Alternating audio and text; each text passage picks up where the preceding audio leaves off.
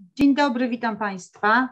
E, dzisiaj jest cykl rozmowy z ekspertami. Naszym gościem jest pani Elżbieta Socha, prezes Fundacji na Rzecz Pacjentów, opieka farmaceutyczna w Centrum Uwagi. Dzień dobry Pani Prezes. Dzień dobry, witam. E, chcielibyśmy porozmawiać o e, czymś takim, co nazywamy polipragmazją. Czy Pani Prezes mogłaby nam bliżej o tym coś powiedzieć? Polipragmazja chyba najprościej można powiedzieć, że to jest wielolekowość dotyczy w znacznym stopniu pacjentów powyżej 65 roku życia, którzy cierpią na wiele różnych schorzeń zdrowotnych. W związku z tym e, są oni również najbardziej narażeni na e, używanie dużej ilości leków. E, większość ekspertów uważa, że o polipragmazji mówimy, kiedy już są dwie substancje czynne. Część definiuje polipragmazję powyżej pięciu leków. Tak jak również możemy powiedzieć, do dodatkowe interakcje, które mogą się tutaj nam tworzyć pomiędzy substancjami czynnymi, są również e, substancje wchodzące w skład suplementów diety, czy nawet środków żywności. Tak samo również pożywienie może stanowić, czy też wchodzić w interakcje z lekami, e, czy też suplementami diety. Dlatego tak ważne jest, żeby przede wszystkim konsultować zakres leków, który bierzemy, nie dokładać leków własnych, czy też suplementów diety z polecenia sąsiadki, czy też przyjaciółki, która stosując dany lek, czy dany suplement diety uważa, że na pewno będzie dla nas dobry, pomocny i skuteczny. Czyli jeżeli zażywamy powyżej pięciu leków, tak, to powinniśmy już zastanowić się e, i spytać e, farmaceutę w aptece lub też lekarza prowadzącego nasze leczenie, który lek ewentualnie możemy odstawić, ewentualnie który będzie można zmienić, czy kiedy zachodzi, czy zachodzi w tym przypadku to zjawisko polipragmazji? Rzeczywiście, z wielolekowością mamy do czynienia wtedy, kiedy korzystamy z e, porady czy też e, wizyt u e, lekarzy specjalistów. Mówimy tutaj szczególnie o seniorach, bo seniorzy są narażeni na wiele różnych schorzeń. W związku z tym idą na wizytę na przykład do kardiologa, potem idą na wizytę do diabetologa. Lekarze nie widzą jakby leków, które przepisał inny specjalista. W związku z tym przepisują kolejne leki. I ten pacjent wychodzi z bagażem e, kilku recept e, i tutaj właśnie jest szansa na wykorzystanie wiedzy i pomocy farmaceuty w aptece, bo w momencie, kiedy pacjent pojawia się w aptece, żeby zrealizować te recepty, wówczas farmaceuta ma szansę zauważyć, że może są to leki, które mają taką samą substancję czynną, albo że mają substancje czynne, które mogą wzajemnie się wykluczać czyli że przyjęcie ich równoczesne powoduje, że albo ten efekt jest osłabiony działania danego leku, albo jest też wzmocniony, przez co może powodować zupełnie inne e, sytuacje, czy też interakcje, czy też e, również tak zwane działania niepożądane. I tutaj jest bardzo ważne, w jaki sposób e, pacjenci powinni konsultować ten temat z lekarzem, jeżeli oczywiście lekarz ma na to czas, ale zdajemy sobie sprawę, że te wizyty trwają zazwyczaj po 15 minut, więc lekarz nie ma możliwości nawet, żeby e, przeprowadzić bardzo gruntowny wywiad z danym pacjentem.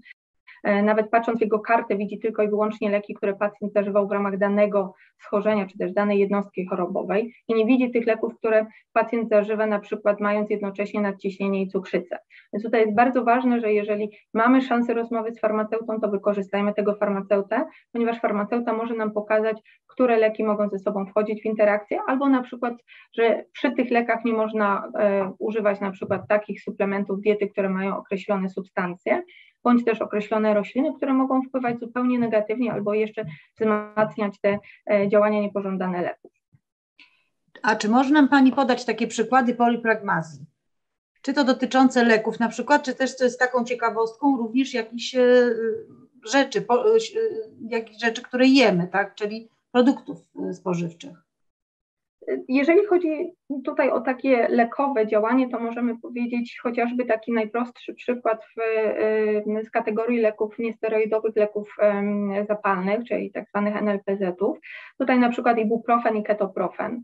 E, te dwa leki, które każdy z nich e, działa przeciwbólowo i przeciwzapalnie, e, kiedy są stosowane łącznie, niestety mają zupełnie, zupełnie odwrotny efekt i mogą zwiększać jeszcze działanie niepożądane tych leków. Więc to jest bardzo ważne, żeby po prostu nie łączyć substancji, które są z tej samej grupy leków. Oczywiście są też rośliny, które mają bardzo negatywny wpływ i też jakby tutaj farmaceuta najlepiej będzie mógł pokazać, bo ja też nie chciałabym tutaj wymieniać bardzo wielu przykładów, ponieważ będziemy starali się je zapamiętać, a tak naprawdę tych interakcji będzie bardzo dużo i tutaj warto korzystać z opieki farmaceuty. Mm, za chwilę też będzie dostępna opieka farmaceutyczna, ale już i tak naprawdę bez tej formuły farmaceuta jest po to, żeby pomagać pacjentowi, więc korzystajmy z wiedzy farmaceuty, korzystajmy z tego czasu przy okienku. Farmaceuci są dostępni nawet w czasie pandemii. E, jest tutaj bardzo duża łatwość dostępu do farmaceuty. Wykorzystujmy wiedzę osób, które przez pięć lat e, uczą się głównie o lekach i o tym, jakie interakcje zachodzą pomiędzy lekami, więc ta wiedza jest do wykorzystania i, i, i tutaj naprawdę w każdym momencie e, każdy pacjent naprawdę będzie mógł liczyć na tą pomoc i wsparcie farmaceuty. Więc myślę, że chyba najlepiej korzystać z tej wiedzy, a w jaki sposób radzić sobie e, z tym, co już mamy w domu, bo pacjenci mają przepisane leki, korzystają z tych leków, więc bardzo dobrze jest spisywać sobie je e, albo w formie, bardzo często w aptekach zdarzają się takie notatniki, w ramach których można e, spisać leki, które się zażywa, suplementy diety, czy też ewentualnie inne leki OTC, czyli tak zwane dostępne bez recepty, które nie są wypisywane na receptach i tutaj też farmaceuta ich nie będzie widział, nawet jeżeli będzie miał możliwość dostępu do indywidualnego konta pacjenta, internetowego konta pacjenta. E, więc jeżeli jest taką, taka możliwość, żeby spisać sobie te leki, to jest to dobry moment, żeby po pierwsze pokazać lekarzowi na wizycie zbiór leków, które już pacjent zażywa, a jeżeli nie będzie takiej możliwości, to na pewno w aptece przy realizowaniu recept warto, aby taką karteczkę ze sobą mieć i przekazać farmaceucie. Wówczas farmaceuta e, powie, że na przykład te leki e, nie można łączyć, albo te leki należy zażyć po śniadaniu, albo te leki należy zażyć po posiłku, e, albo nie należy tego zdecydowanie popijać sokiem z pomarańczy albo sokiem grejpfrutowym, bo tutaj może wchodzić w interakcję. Najlepiej leki popijać wodą, to jest podstawowa zasada, najlepiej zażywać leki na stojąco, jeżeli jest taka możliwość, jeżeli tutaj pacjent czuje się na tyle komfortowo, że może to robić w pozycji stojącej, to e, tutaj jak najlepiej e, jest to właśnie w takiej pozycji, żeby one po prostu gdzieś tam nam mm, nie, nie utknęły, należy popić odpowiednią ilością wody, więc to są takie też porady, na które można liczyć u farmaceuty, ale mm, też można mm, jakby tutaj lekarz e, na pewno wskaże, kiedy dany lek należy zażyć, czy on po posiłku, czy przed posiłkiem, ale gdyby tego tak się nie zdarzyło, to tutaj farmaceuta służy pomocą i wiedzą. Bardzo zwróciła Pani prezes na taką e, bardzo ważną sprawę uwagę, czyli jeżeli pacjent idzie do lekarza, to powinien sobie właśnie zapisać wszystkie informacje dotyczące e, tego, jakie leki zażywa, jakie bierze, jakie suplementy diety, z jakich suplementów diety ewentualnie korzysta, ale też bardzo ważne jest, i tu też chciałabym, żeby to, e, na to zwrócić uwagę, że jeżeli pacjent zauważy, są jakieś interakcje leków, po którymś leku czuje się źle, też y, obserwując siebie widzi, że może dochodzić do jakichś interakcji, to też trzeba lekarza o tym poinformować.